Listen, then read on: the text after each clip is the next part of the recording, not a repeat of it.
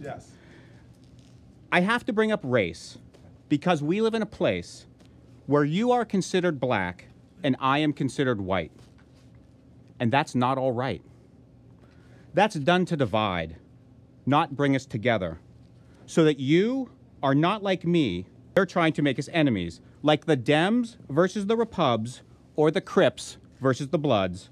So I have to say, we've lost our way. So what are you going to do to turn that around and let everyone see standing on the same ground? I love it. Okay, that almost sounded like a poem for crying out loud. um, you've got some serious rhymes. Jay Z has nothing like um.